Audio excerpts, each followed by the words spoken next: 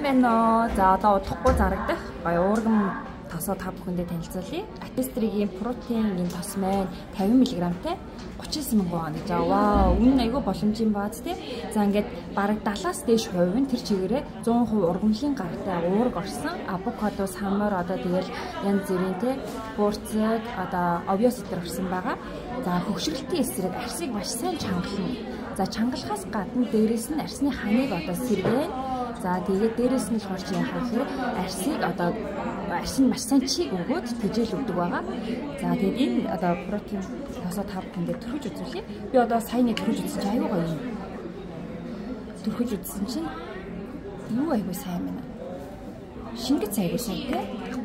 За тэгээ хүн болгон төрөх боломжтой шүү. Үнэр нь бас аюу гоё юм аа. Тэгээд ялхан хөтэй ирсэн болгочтой байна.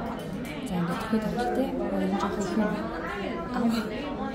Ингээд хартаа ийм гоё. Тэгээд бүр аюу сайн шингэлдэг.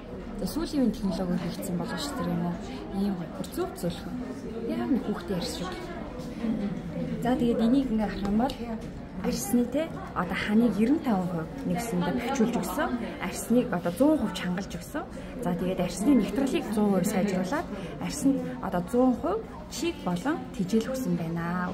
За ийм аюу. Бараг 70% нь тэр чигээрээ 100% урамлын гаралтай уураг гэж ойлгож байна. За одоо удахгүй гоё пуран машин зарлагдах байгаа. Энэ одоо тосноос хоёрыг аваад за тэгээд нөгөө нэг бишрэлтийн эсрэг нөгөө исен зэдлээ шүү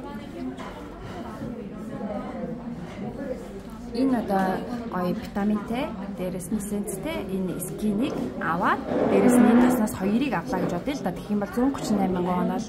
За бэлгэд юу гэж байгаа вэ гэх юм бол а маск эссенцтэй одоо сэлбэтгэн маск нэг хайрцаг 5 ширхэг за тэгээ дээрэс нь одоо энэ тосны сампл 15 мг-тайг 2 ширхэг тэгээд витамин С серум а 4 ширхэг сампл бэлгэлж байгаа шүү.